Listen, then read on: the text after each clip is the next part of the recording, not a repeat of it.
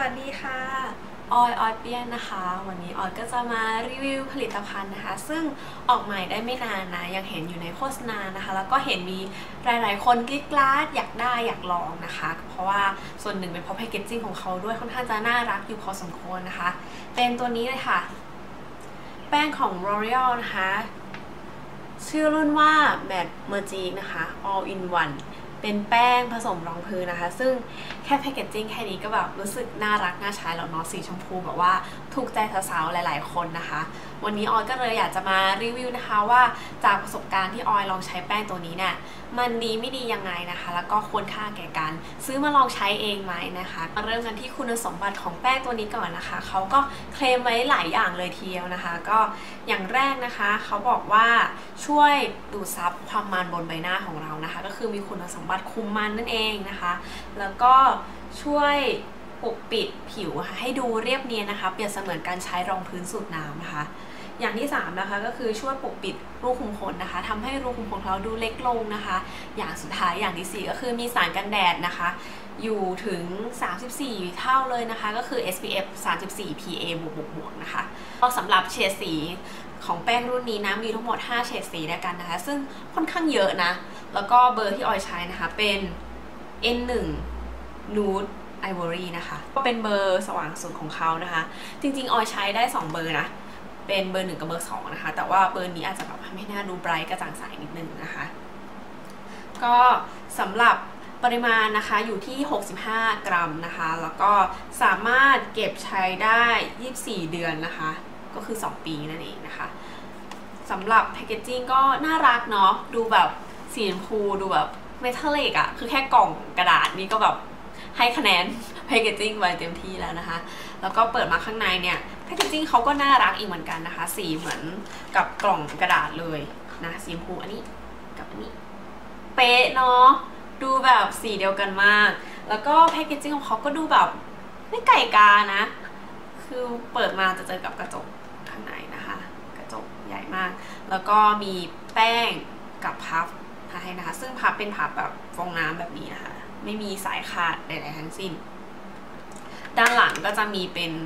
รูระบายอากาศนะคะ แล้วก็จะเขียนตรงนี้ชื่อรุ่นของเขานะคะ ก็เท่าที่ออยลองใช้นะคะสำหรับแป้งตัวนี้เนี่ย ก็ถ้าพูดถึงเรื่องของการควบคุมความมันอะไรอย่างเงี้ยออยว่าก็คุมมันได้ระดับหนึ่งนะ แต่ไม่ได้คุมมันแบบมาก ไม่ได้ถึงกับ อย่างถ้าใครที่เป็นแฟนของแป้งลอร่าเมอร์เซียนะคะ ไม่ได้คุมมันขนาดนั้น แต่ว่าก็คุมมันได้ระดับหนึ่งค่อนข้างโอเคเลยทีเดียวนะ แต่อย่างวันนี้ออยก็ใช้นะคะ ออยเพิ่งจะอัดวิดีโอเปิดถุงเปิดถุง shop ไปนะคะ ก็นานอยู่อะเป็นแบบเป็นชั่วโมงอยู่นะ เพราะว่าแบบต้องพูดนู่นนี่นั่นค่อนข้างเยอะนะคะ แล้วก็ค่อยมาอัดวิดีโอตัวนี้นะ ก็เดี๋ยวให้ดูว่าผิวก็จะเป็นประมาณเนี้ย คือออยเป็นคนที่หน้ามันช่วง T-zone ใช่ไหมคะ ก็ตรงจมูกจะมันมาก มันแบบมันจริงๆนะ ซึ่งตอนนี้จมูกก็เริ่มแบบเริ่มมันแล้วนิดนึง คือคุมมันได้ประมาณนึงแต่ก็ไม่ได้แบบมากขนาดนั้นนะคะ แต่ว่าก็เข้าใจว่าจมูกออยแบบมันมากอะคือ ต่อให้ใช้แป้งอันไหนอะมันก็มันไง ก็เลยแบบนะ แต่ก็ถือว่าเรื่องความคุมมันก็ถือว่าใช้ได้ระดีนะไม่ได้แบบเฮ้ยไม่ใช่เขาเคลมแล้วแบบมันไม่ได้เรื่องมันไม่ได้แบบอย่างนั้นนะคะ ถือว่าค่อนข้างใช้ได้ เรื่องการปกปิด ก็ค่อนข้างจะเป็นไลท์ทูมีเดียมนะ ไม่ได้ปกปิดมากนะคะ ออยมีแป้งของบิซูบิซูนะคะ ซึ่งตัวนั้นปกปิดดีมาก อันที่เป็นรุ่นตลับม่วงอันนั้นปกปิดดีมาก คือถ้าเทียบกับบิซูบิซูเนี่ยตัวนี้ถือว่าเบาไปเลยนะคะ แต่ว่าจริงๆมันก็โอเคอะคือมันเป็นแป้งที่แบบปกปิดได้ประมาณนึง แต่ถ้าเกิดใครมีรอยสิวที่ชัดมากอะไรอย่างเงี้ยออยว่าก็เอาไม่อยู่นะ อืมแล้วก็เรื่องของสีเวลาลงนะคะ drop ไหมส่วนตัวออยรู้สึกแป้งมันไม่ drop นะ เวลาใช้กับออยนะคะ แล้วก็ตอนแรกเนี่ยจริง ๆ แป้งจะดูแบบ ตอนลงแรกนะ moment แรกที่ลงอะ่ะจะรู้สึกว่ามันดูไม่ค่อยกลืนกับผิวเท่าไหร่นะคะ แต่พอลงเซตตัวสักพักก็จะเริ่มกลืนนะคะ แล้วก็ทำให้หน้าดู bright ขึ้นประมาณนึงด้วยนะคะ แล้วก็สำหรับตัว puff ที่เขาให้มานะคะ จริง ๆ ออยไม่ค่อยชอบ puff แบบนี้เท่าไหร่นะ รู้สึกว่ามัน มันลงกับแป้งตัวนี้แล้วไม่ค่อยเนียนอะเออ จริงๆออก็ชอบพับที่เป็นแบบมีสายคาดนึกออกปะที่แบบของเกาหลีอะค่ะ ที่แบบมีสายคาดแล้วเราเอานิ้วสอดเข้าไปแล้วแทบๆลงบนหน้า อย่างนั้นนะออยชอบมากกว่า แต่แป้งตัวนี้ก็ไม่แน่ใจว่าเขาดีไซน์มาอย่างนี้หรือเปล่านะ แต่ส่วนตัวใช้แล้วก็ไม่ค่อยชอบอะรู้สึกมันไม่เนียนนะคะ แต่ว่าถ้าใช้กับแป้งของ Real Technique นะคะ ตัวนี้เนี่ย จะเนียนกว่านะคะ หมายถึงโมเมนต์ที่เราแบบลงรองพื้นหรือว่าลง BB แล้วเติม ไม่ใช่เติมแล้วทาแป้งในครั้งแรกนะคะเอาว่าใช้แปรงตัวนี้ดีกว่านะคะ แต่ว่ามีเรื่องแปลกอย่างหนึ่งคือแป้งตัวนี้ถ้าใช้พับของเขาอะลงแบบหลังจากที่เราแบบจะใช้เซตรองพื้นเนี่ย ไม่ค่อยเนียนนะ แต่ถ้าเกิดใช้เติมระหว่างวันอะ ดันเนียนซะงั้น ไม่รู้ทำไมอะ มันรู้สึกแบบ เออพอใช้เติมระหว่างวันก็โอเคนะอาจจะเพราะว่ามันจะมีแป้งอยู่ส่วนหนึ่งหรือเปล่าบนหน้าเราอะไรอย่างนี้นะคะ ก็ตอนนี้แป้งออยก็ด้วยความที่มันเริ่มที่จะแบบมันแล้วใช่ไหม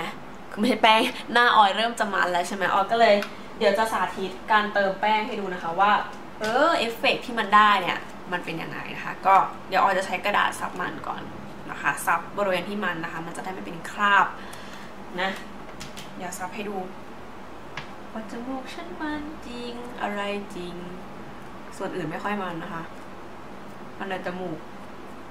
ซึ่งได้ข่าวอยู่ตรงกลางนะเห็นชัดไง คือแบบมันตรงอื่นยังไม่เท่าไหร่ มันจมูกนี่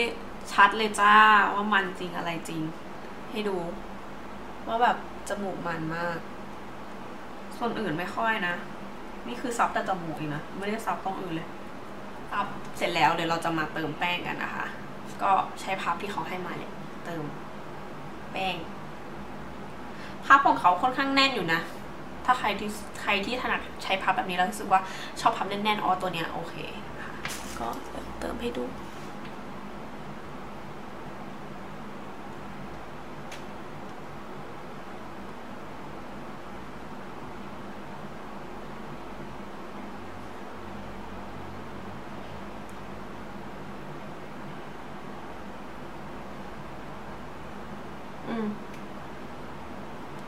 ผากนิดนึงไหนๆก็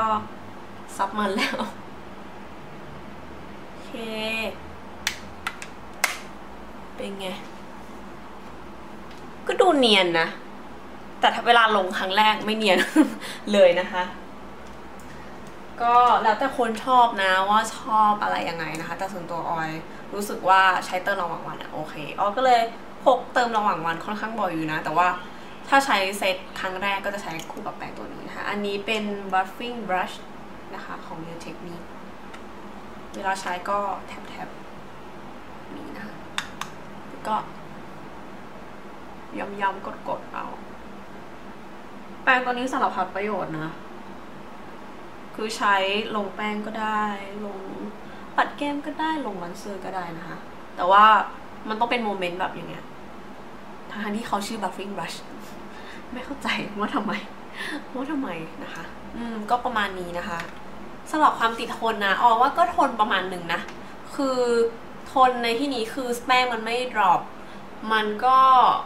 แป้งมันไม่หลุดนะ คือมันมันแต่มันไม่หลุด คือแป้งมันจะอารมณ์ประมาณอย่างนี้นะ คือไม่ได้แบบหลุดเป็นคราบด่างๆดวงๆ อันนั้นไม่ใช่ค่ะไม่ได้เป็นอย่างนั้นนะคะ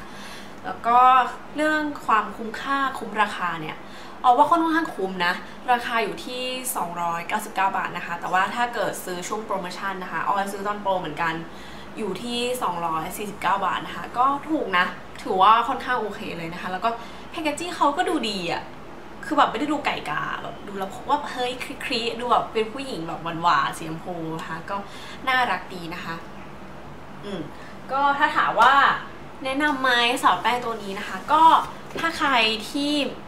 เอ่อเป็นคนที่ชอบใช้แบบแป้ง drugstore เป็นคนใช้เครื่องสำอาง drugstore คือไม่ได้แบบเป็นมนุษย์แบบติด counter brand อะไรอย่างนี้นะคะ ก็ตัวเนี้ยโอเคเลยคือแบบเป็นแป้งที่ matte นะคะ แล้วก็คุมมันได้ประมาณหนึ่งไม่เป็นคราบอะไรอย่างนี้ค่ะไม่ drop ระหว่างวันนะคะ โดยเฉพาะใครที่ชอบเออแต่งหน้า look matte matte เนี่ยออยว่าตัวเนี้ยค่อนข้างถูกใจนะคะเพราะว่ามีแป้งหลายตัวเหมือนกันที่มัน มีความแบบเป็น shimmer มีความแวววาวค่อนข้างเยอะนะคะ เวลาทาก็จะแบบหน้าดูวาว ใครที่เป็นคนผิวมันอยู่แล้วเนี่ย ถ้าเกิดใช้แป้งที่มันวาวมากเกินไป ผิวมันก็จะยิ่งดูมันเข้าไปใหญ่นะคะ แต่ตัวเนี้ยโอเคนะคะเพราะมันแบบให้ look ที่ matte เราก็จะแบบไม่ได้หน้าดูวิ้งวาวมากขนาดนั้นนะคะ อืมแล้ว packaging อะไรก็โอเคอะพกไปไหนก็ไม่อายใครนะคะ ก็ถือว่าคุ้มค่าคุ้มราคาควรค่าแก่การลองนะ อืมนะจ๊ะโอเคค่ะ ก็เดี๋ยวเราจะมีเป็น ชาร์ตคะแนนให้นะคะ ก็ไปดูกันเลยค่ะว่าแป้งตัวนี้ออยให้คะแนนเท่าไหร่นะคะไปชมเลย